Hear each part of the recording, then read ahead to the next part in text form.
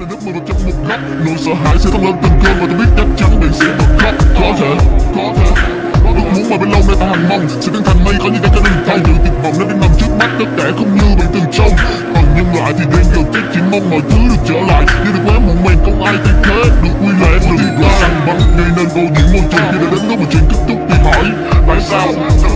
Các bức tranh tuyệt đẹp của những con phố đêm màu dài lay lắc sẽ thay vào đó là nạn bảo các ánh mây nhắm mắt lại và sẽ thấy mình được thoải mái hơn. Mọi chuyện sẽ kết thúc ngay sau đêm nay không cần giá bút qua từng cơn.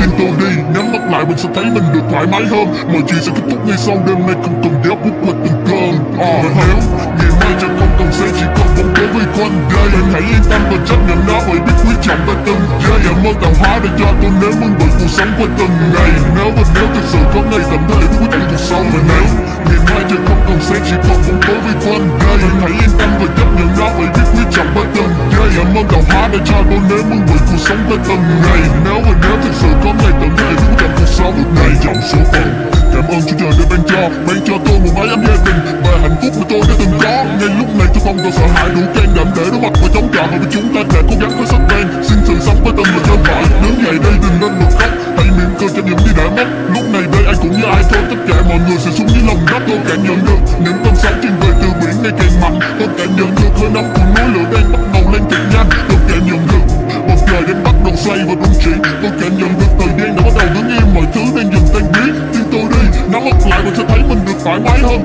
Mọi chuyện